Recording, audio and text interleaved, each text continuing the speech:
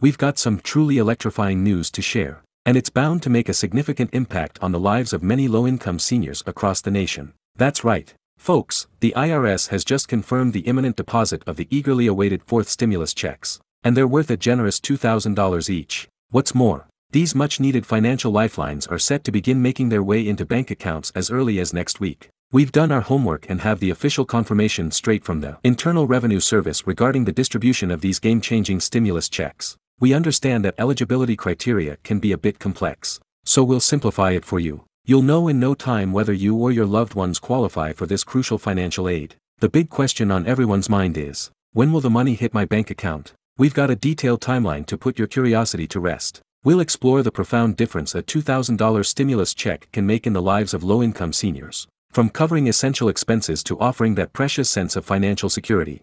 Governor Katie Hobbs' office has made a significant announcement that holds great promise for families in the state of Arizona. This announcement brings with it the introduction of a one-time childcare payment program that aims to provide much-needed financial relief. Under this initiative, eligible families will receive a substantial payment of $500 for each child in their care. The primary objective behind this program is to ease the financial burden that often accompanies childcare, particularly in covering registration fees. The eligibility criteria for this payment program are important to understand. It is specifically designed to benefit children who are involved with the Department of Child Safety and are actively participating in the subsidized child care program. This means that it's targeted at families who are already navigating the complexities of childcare within the framework of the child welfare system. These families, who often face various challenges and financial strains, will undoubtedly find this initiative to be a much-needed source of support. What makes this development particularly noteworthy is that the payments have already begun distribution, starting during the summer months. This timely rollout underscores the urgency of providing financial assistance to families who have been grappling with childcare costs, especially in the wake of the ongoing challenges posed by the pandemic. To ensure that eligible families can access these funds without unnecessary hurdles, the governor's office has taken proactive steps. They have enlisted the assistance of DCS caseworkers and staff to guide eligible families through the process of receiving their payments. This hands-on approach is a crucial element in ensuring that those who need these funds the most can easily access them. Furthermore, this initiative in Arizona is part of a broader national conversation about Universal Basic Income, UBI, and Guaranteed Income programs. While this childcare payment program may be a one-time endeavor, the concept of providing regular, fixed income to individuals and families to reduce poverty is gaining traction nationwide. Guaranteed income programs, like UBI, aim to offer financial stability and alleviate the economic challenges faced by vulnerable populations.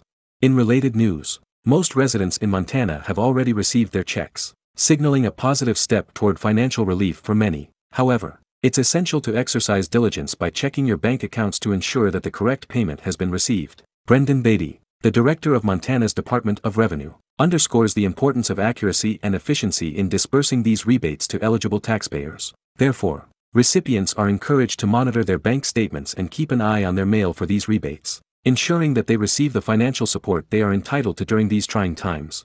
Montana's tax collection for the year 2021 unexpectedly exceeded their financial projections, resulting in a surplus of funds. Now, you might be wondering how such a surplus could occur. The answer lies in the unprecedented economic changes brought about by the COVID-19 pandemic, particularly during the lockdowns of 2020. These changes had far-reaching effects on the economy, causing states like Montana to collect more tax revenue than originally anticipated.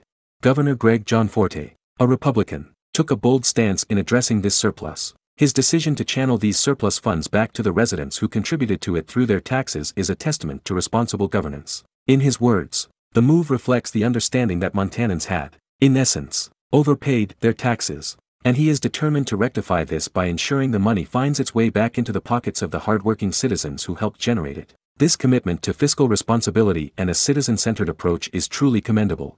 But the story doesn't end there. Montana residents began receiving their cash payments on July 3, turning what could have been a mere financial hiccup into a tangible benefit for the people. The cash payments aren't limited to a select few, they're accessible to a wide range of taxpayers. Single taxpayers, those married but filing separately, and heads of households are all eligible for payments of up to $1,250. Couples and joint filers, on the other hand, have the opportunity to receive even more substantial payments, potentially up to $2,500.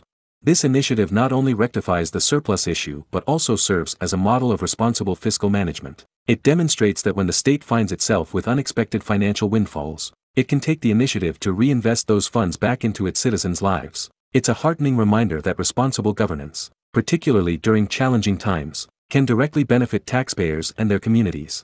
The great state of Alaska has made headlines with its generous tax rebates, putting smiles on the faces of its residents this July, in an effort to acknowledge and give back to its hardworking taxpayers. Alaska's government earmarked millions of dollars for distribution to approximately 530,000 eligible taxpayers. These rebates came in varying amounts, with some lucky individuals receiving as much as $2,500, while others saw $1,250 heading their way.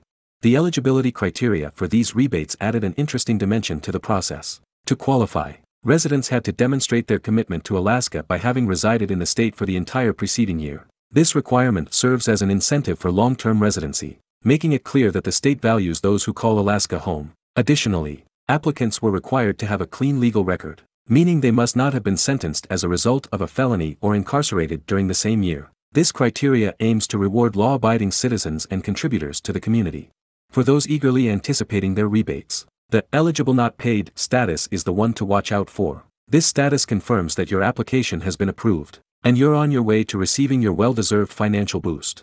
But that's not all when it comes to financial perks for Alaska residents. The state's Permanent Fund Dividend, PFD, program is another noteworthy initiative. This program ensures that Alaskans receive their share of the state's oil revenues each year, this year, the checks sent out through the PFD program were particularly impressive, with each one worth a substantial $3,284.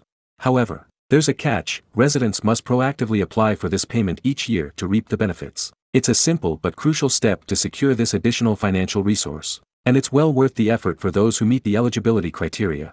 Oregon, in a move that might raise eyebrows among its residents, is set to temporarily suspend rebates for electric vehicle EV purchases or leases for an entire year starting from May, as reported by the Associated Press. However, it's essential to understand that such policy shifts are not uncommon in the dynamic world of EV incentives. Meanwhile, for those residing in states still offering electric car incentives, 2023 introduces a set of fresh regulations that are worth noting. What's crucial to know is that not all EVs are treated equally under these new regulations. In this year, only six pure electric vehicles qualify for a full tax credit. This means that if you're driving one of these select models, you're in for some substantial savings. The fortunate six that made the cut for full tax credits in 2023 include the Cadillac Lyriq, Chevrolet Bolt, Chevrolet Bolt EUV, Ford F-150 Lightning, Tesla Model 3 Performance, and the Tesla Model Y. These vehicles stand out as top contenders for maximizing EV tax benefits this year. Thank you for joining me your go-to channel for all things stimulus checks and personal finance tips. And don't forget to like and subscribe to our channel.